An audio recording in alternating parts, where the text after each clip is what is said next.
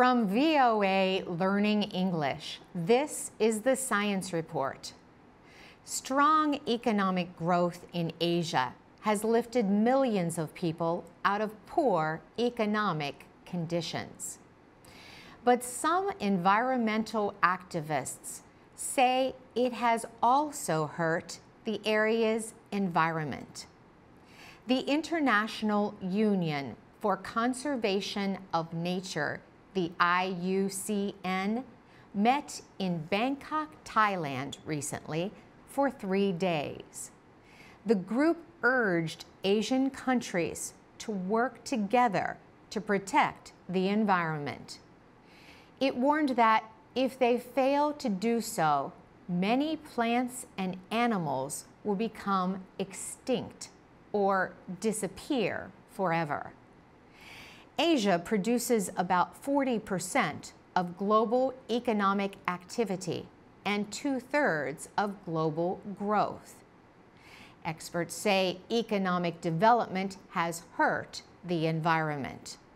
More than 1,400 plants and animals are critically endangered. About 95% of Southeast Asia's coral reefs are at risk. And wetlands that once covered tens of thousands of kilometers of shorelines are disappearing faster than anywhere else in the world. Zheng Xinsheng is president of the IUCN. He says Earth's ecosystems are stressed and governments need to limit losses. He says we need to change how we produce and consume things. In Bangkok, the group urged governments, businesses, and non government groups to work together to help the environment. IUCN officials say 2015 is a turning point for Asia.